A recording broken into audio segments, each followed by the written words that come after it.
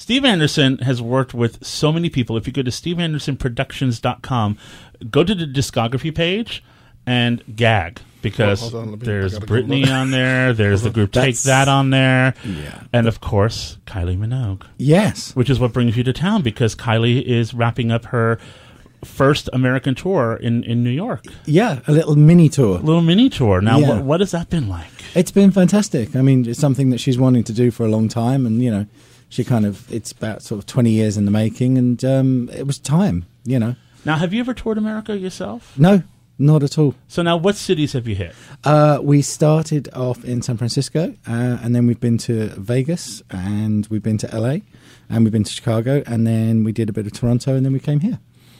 All the high points. Yeah, um, and we did one, the one weekend that was you know really amazing was we did Las Vegas on the Saturday night and the Hollywood Bowl on the Sunday.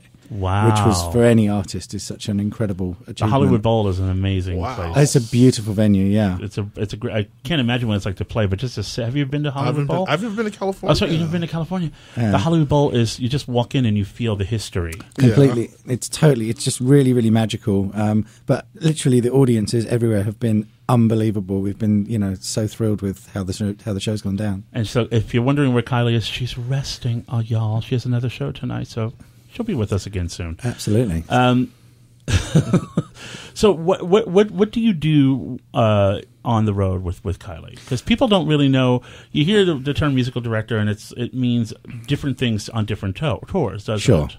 Yeah, no, I mean, my job is it's a, it's an odd one really because most musical directors kind of arrange the show and then they go on tour with it and they play on stage. But because our show is so there's a massive multimedia element, obviously with all the video and the choreography, and it's directed by a friend of mine called William Baker, who's been with Kylie as long as I have.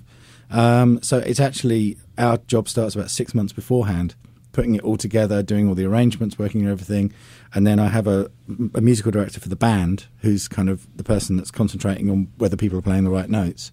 So it's kind of arranging it all, going in, rehearsing it, coming here, and then the reason that I've come on this tour is just because I just wanted it, everything had to be perfect from day one because we only had you know nine shows. Normally, what happens we open and you know about five or six shows in, we're still changing stuff. This time round, it had to be right, and It had to every be right single the one first night. Yeah, we had to be bang on every single night. So um, and, the we have review- and we have been. I was going to say the reviews have been smashing. So Yeah. Which is also got to be gratifying. Well, you know, she is the best live performer in the world, in my opinion, and uh, and I just think, you know, everybody that's come to see it, it's it's a kind of bit, a little bit of a best of everything we've done, but there's also some brand new stuff in there as well. I know there's a new song called "Better Than Today" that she uh, yeah, that she did last night. yeah, it's a fantastic new song written by a, a British songwriter called Nerina Pallot, who's also got her own album out. I love Nerina. Yeah, yeah. So she has a new. Everybody's going to war. Yeah, that's it. Well, she has a new album out this week as well in the UK uh, of her own stuff. She's on tour in uh, the UK at the moment, and yeah, and it was a song that Nerina wrote. Nerina's a massive Kylie fan, and then um, wow. yeah, it's one of those weird ones. Someone heard the song and you know, oh my god, that sounds like a Kylie would be great on it, and they worked on it together, and they're going to do some more stuff for the record as well. So Now, if you're if you're an import hound like I am, you know that Nerina Pallot does not make what you would call Kylie-esque music. She's a bit of a rocker with a little bit of a Sarah McLachlan feel to her music. So that's fascinating. Yeah, yeah, definitely. Um, I think she just wanted to kind of get that side out. Um, but actually, the new record that she's made is, is you know, is a lot more poppy because she's already. She had this kind of the first record when she came out. I know it was more singer songwriter, but she's got a real quirky side to her, Nerina. If you ever see her videos and stuff, she's really, really quirky. Yeah, she's she's a little out there, but I like her. yeah, and I I'm think, excited. And I think you know, a chorus is such a Kylie chorus to sort of say, "What's the point of living if you don't want to dance?" I mean, that's just such a Kylie chorus. It had to be a. Kylie record. It's true. That's Steve Anderson not with us today. So, what's the first thing you do in reconstructing a song like that? What was the first thing you did for that song? Um, with that song, it, it always starts with the melody. I mean, the thing is, is musical director for me is is a really easy thing to do because, as you know, and I don't know if anyone else does, but I used to be a remixer. That right. was kind of And we're going to get to that too because you've had quite. That's how we met. Yeah, exactly. And and I've always felt that you know, arranging in you know the old. So if you go back to kind of people like Nelson Riddle, you know, they used to do different arrangements of songs for different singers. So there'd be a song, an for a Sinatra version, or you know whatever. So they were in effect the old versions of remixes.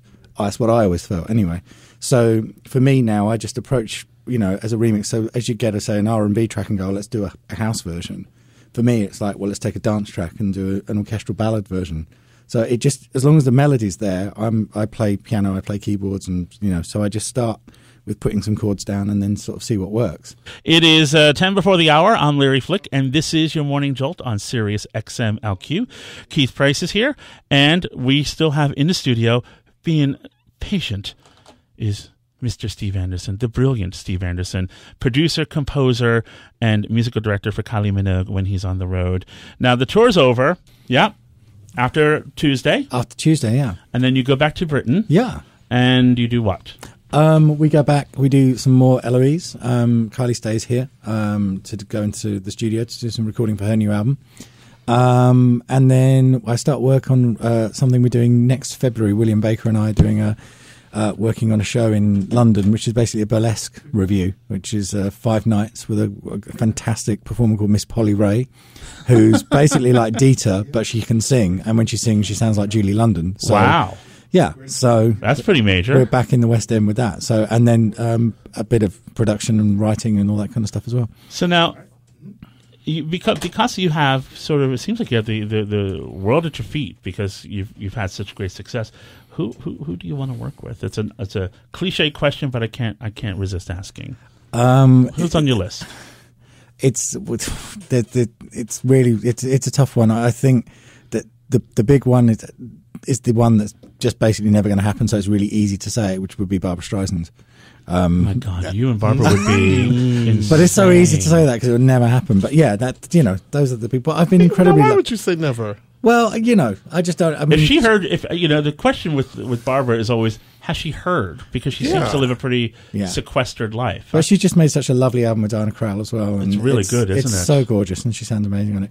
But to be honest with you, if I'm answering the question seriously, you know, I have the person that I want to work with. You know, I, I, everything that I want to do is possible to do with Kylie. So, you know. And here's wow. what, I, for all y'all listening, here's the thing: when the mics are off, and even when he and I are just like tweeting or messaging he really loves her. He's not he's not giving you company line. Yeah. And I think that's what's so that's so sweet. Can't really do that. I don't know how to do that very well, to be honest. No, because you're just you're, he's a yeah. proper gentleman, y'all. So, well, so, so I had she's a, she's an incredible. As I've said it before, she's an amazing muse, and she brings out the best in everybody that she works with. Mm. So, what's been your proudest moment? What makes you proud to say you've Ooh, done? What's been the proudest moment? Um, it's really difficult. I mean, I think the the Sydney Olympics was a really special moment when kind of she she went on did Dancing Queen, and it was all you know two years after you know the whole thing of coming back, and and also again Homecoming, which was the show that we did after she got well, you know, and and the first night back on stage there was you know was very very proud. That had and, to, yeah. and I'm sorry, and I will say uh, Hollywood Bowl was really really special don't want to take anything away from the other shows. They were amazing, and the crowds have been brilliant. But that's a legendary space. To see her after 20 years on the stage of the Hollywood Bowl with 10,000 people screaming is that's a real moment. That's Steve Anderson, and I want to thank you for, for not just coming on the show, but for hanging cool. for two hours. I, yeah. I, wouldn't have missed it for the world. It's it's it's lovely, so lovely to see you again. It's lovely to see you again as well. You look so fit, so well, and your work is just to coin a cliche, it's absolutely magical to listen to. I can listen to your music for days and weeks, and I often do actually. Well, th- thank you for your support. You've always been incredibly supportive well, of us and, and of Kylie. And she, as I said to you when we were off air, she does send her love. And I saw her last night, and she, you know, loves you and said, you know, to say hi. And and, uh, and I know you're coming, hopefully coming back to the show. So mm-hmm. yeah well, I'm looking forward Come to see it. the whole thing. I'm looking forward to it. Well, you can go to steveandersonproductions.com to learn more about him, or he's on Twitter, Mr. Steve Anderson on Twitter. Have a great day. Go do something nice for yourself. And Steve, again, you're a genius, and I mean that from the bottom of my heart. Thank you for sharing with Pleasure us. Thank you both. All right. We'll see you tomorrow.